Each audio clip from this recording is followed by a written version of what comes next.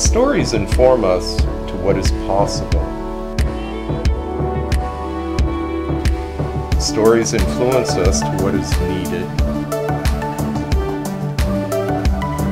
And stories inspire us to what could be. Stories happen when people live their life to the fullest. These are the storytellers. Welcome back to a short version of Storytellers. The reason why we're having a short version is due to this coronavirus. We can't do any live interviews. But this applies to both the storytellers and to the Revived Life.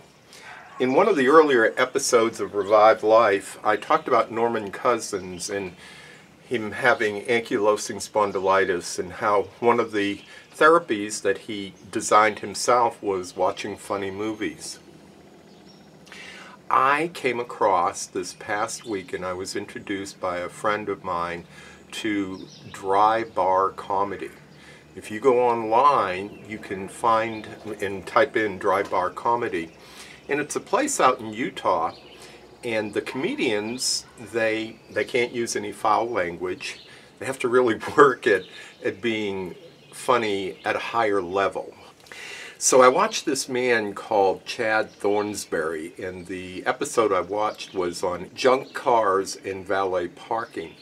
It was about 20 minutes long, and, and it was on my friend's little electronic device. And if anyone knows me, you know I don't like those things. They're, they're a good tool, but I don't like them overall because they are addictive.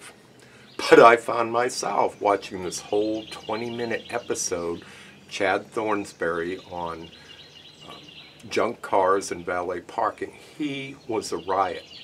The next day, I went online and put in Chad Thornsberry, and he has a lot of um, couple of minute funny stories. And what he's doing, my estimation, he's working out new comedy routines.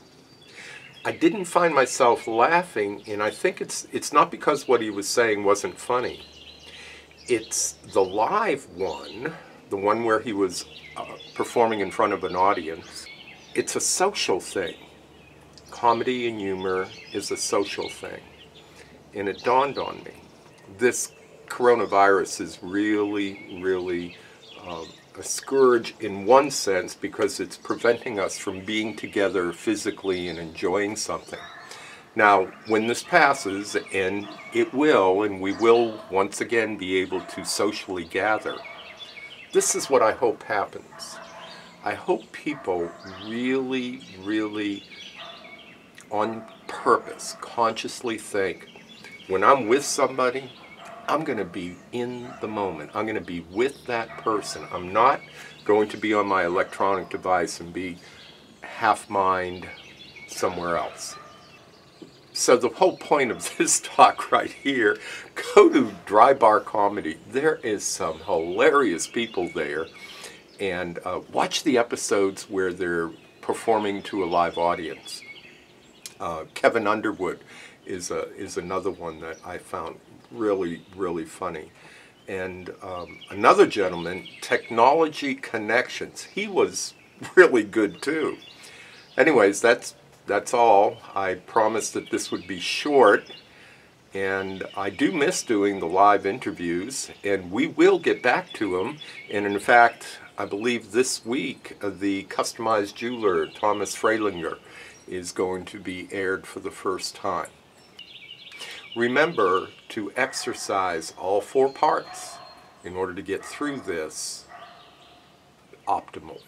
Mind, body, spirit, and emotion.